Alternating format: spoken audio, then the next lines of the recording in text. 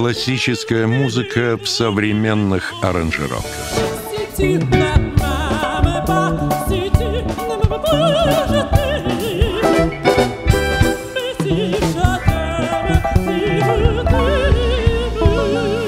Концерт ансамбля «Бисквит» и солистов Мариинского театра в рамках проекта «Опера а ла Рюс».